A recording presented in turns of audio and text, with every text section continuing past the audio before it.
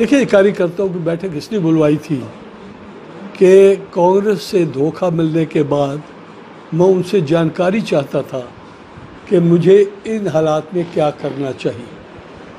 तो सारे कार्यकर्ताओं ने अपनी अपनी राय रखी, लेकिन हाथ उठा कर के एक बात में सारे सहमत थे कि जो भी फैसला मैं करूँगा, वो उन्हें मंजूर होगा।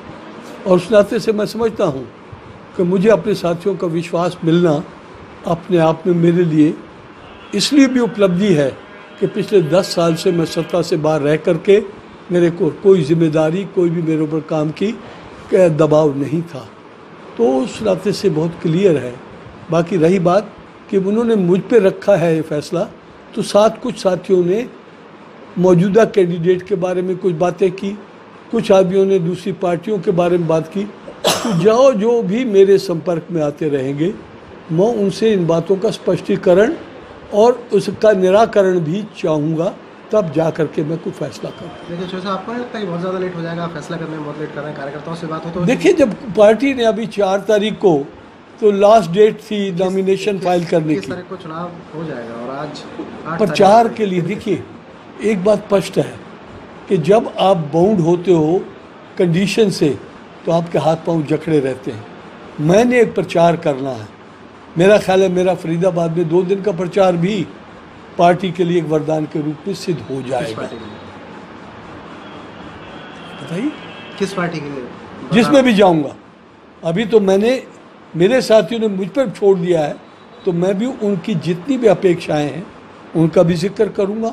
और जिस तरह से उन्होंने आपने साफ़ तौर पर बैठक में ये कहा कि बीजेपी को मैं सपोर्ट करना चाह रहा हूँ। मेरे दिल में ये है कि सत्ता के साथ जुड़ूं जिससे कि लोगों के काम हो सके। नहीं, नहीं, तो लोगों ने लोगों को जो सपोर्ट लोगों का आपने जो मांगा है भारतीय जनता पार्टी की मदद के लिए मांगा बिल्कुल कहा क्योंकि मेरे सामने और कोई पार्टी अब आप देखिए इनेलो का फरीदाबाद में कोई बेस नहीं जाजेपा का कोई ख़ास बेस नहीं। आप वाला थोड़ा सा हिलजुल कर रहा है लेकिन उसका कोई जीतने के कुछ चांसेस नहीं। तो लड़ाई तो कांग्रेस और बीजेपी में है। कांग्रेस ने मुझे उठा के बाहर फेंक दिया। मैं अब ये सोचता हूँ कि दूसरे कैंप में मुझे फेंक दिया गया तो मैं उसको किस तरीके से हैंडल करूँ? क्या मेरे साथी मेरा साथ होंगे या मैं उधर भी देखता रहूँगा उधर भी देखूँगा?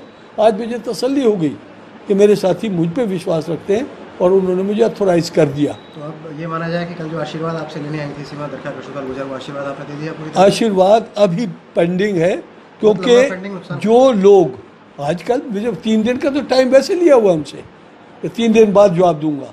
तीन दिन का मतलब यही था, कि एतवार को मैं बात करूँगा, सोमवार को मैं उनसे भी बात करूँगा कि भाई ये ये लोगों ने अपेक्षाएँ की हैं, लोगों ने ये ये गिले किए हैं, आपका क्या जवाब है? क्या आप इसके निराकरण के लिए या इसके इम्प्लीमेंटेशन के लिए पूरी तरह अपने आप को बाउंड करते हो? तो I am there with you otherwise सैद्धांतिक रूप से आप बीजेपी के साथ खड़े हुए नज़र आ रहे हैं। सैद्धांतिक रूप पे आप ये कह सकते हैं। तो ये माना जाए कि बीजेपी के लिए आप पूरे प्रदेश में प्रचार करेंगे? ना ये अभी नहीं कहूँगा।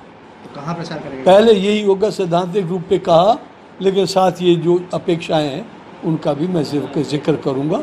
अधूरे प्यार को मैं प्यार नहीं मानता और काम अगर मैं नहीं कर सका तो जो लोगों ने आज मेरी तस्वीर अपने मन में रखी है कि युग पुरुष और काम करने वाला व्यक्तित्व है और मुझे सर्टिफिकेट दे रखे मेरे कमरे में लगे हुए हैं। तो उनके नाते से माँ उनकी पूरी तरह से भावनाओं की कदर करते हम ये कहते हैं कि एसी चौधरी ने मन बना लिया कार्यकर्ताओं ने कह दिया कि भारतीय जनता पार्टी में हाँ लेकिन लोगों ने साथ ये भी कहा कि ये ये उनके पार्टी से भी गिले हैं। पार्टी कैंडिडेट से भी गिले हैं। चौधरी ने इनको सप- स्पष्ट कर दिया। सशर्त समर्थन दिया हाँ जी। सशर्त समर्थन तो मुझे बिना शर्त के दिया। लेकिन उनकी जो बातें सुनी हैं वो मेरे लिए शर्त बन गई हैं कि मैं उनका भी निदान कर सकूँ। ठीक है। तो हम ये देख रहे थे कि काफ़ी सारे कार्यकर्ता इस बात से नाराज़ थे कि भारतीय जनता पार्टी को वोट कैसे दे सकते हैं? आपको वोट नहीं देना चाहिए। काफ़ी ने भेजे हुए थे। झगड़ा मुझे बताइए दो आदमी बोल रहे थे तीसरा कोई नहीं था। और चार पाँच ये भी यहाँ पे बैठे हुए। तभी मैंने कहा मैंने तुम्हें देख लिया फ़ोन करते हुए। किसने किसने अब नाम क्यों क्यों दिलवाते हो? अपोजिशन तो- विपक्ष के लोग हैं। है समझिए मैं किसी का नाम नहीं लूँगा। आप उनसे या ज़रा सा उनके कार्यकलाप को देख लें। तो बीजेपी तो विपक्ष है नहीं अब ले दे के कांग्रेस विपक्ष नहीं नहीं कांग्रेस का भी हो सकता तो है आपने आपका भी हो सकता है। ले लो हज का पचका सबका हो सकता है। बाकी के लिए तो आपने लेकिन मैं इतना कह सकता हूँ जिस आदमी ने ज़्यादा शोर मचाया अगर उनके बारे में ज़रा सा भी किससे पूछेंगे तो आपको लगेगा कि अभी तक वो किसी पार्टी के लिए प्रचार करके सब कैंडिडेट के साथ थे। और वहाँ से उनको छोड़ के यहाँ आए। तो वरदान दे दिया आपने? वरदान दे दिया आपने? वरदान तो मैं नहीं दे सकता। वरदान तो आशीर्वाद बड़े को नहीं वरदान तो प्रभु देता है। संत देते हैं। मैं तो एक गृहस्थी आदमी हूँ। समर्थन का आशीर्वाद समर्थन का भी वही कहा कि मुझे अपने आप को भी तसल्ली देनी है कि जो मेरे ऊपर अपेक्षा जो उन्होंने अनकंडीशनल खुले हाथ करके सपोर्ट दे दी उनकी भावनाओं को भी मैं उन तक पहुँचा के और अपने आप को संतुष्ट करूँगा कि जो समस्याएँ उन्होंने रखी हैं उनका मैं मुझे मेरे द्वारा वो पार्टी उसका हल करने के लिए वायदा करेगी तो लेकिन कांग्रेस से नाता पूरी तरह तोड़ दिया। कांग्रेस का छोड़ गया